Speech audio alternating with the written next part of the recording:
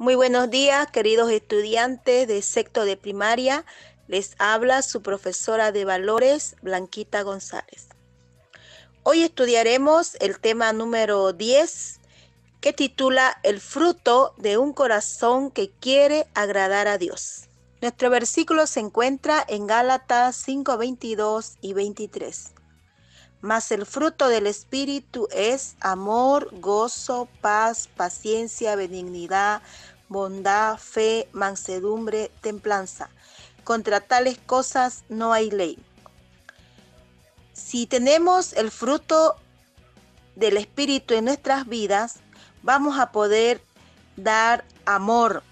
Y ese amor va a producir en nosotros gozo, paz, paciencia, benignidad, bondad y mansedumbre para poder compartir con los demás el fruto del amor en nuestra vida se va a ver reflejado eh, en un deseo desinteresado en hacer el bien a otras personas.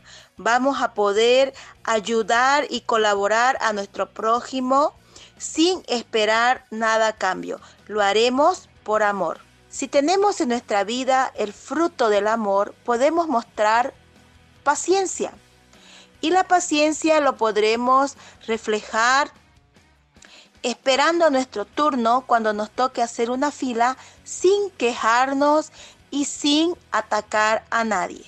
El amor en nuestra vida producirá el fruto de la bondad y la bondad podré demostrarlo cuando yo me interese por el bienestar de otras personas que están a mi alrededor mostrando una consideración hacia ellos e intentando ser útil y ayudándoles en lo que ellos necesiten. Si tenemos el Espíritu de Dios en nuestras vidas, podremos reflejar el fruto del amor.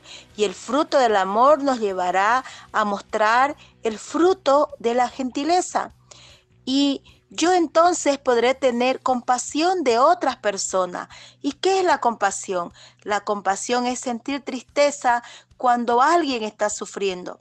Y no debo mostrarme violento ni abusivo con las otras personas, más todo lo contrario, debo mostrarme amoroso, compasivo y ayudar en todo lo que yo pueda para que la otra persona supere lo que está pasando y en este tiempo de pandemia nosotros podamos mostrar compasión por el prójimo, podamos ser colaboradores, que el fruto del amor se vea reflejado en cada uno de nuestros actos.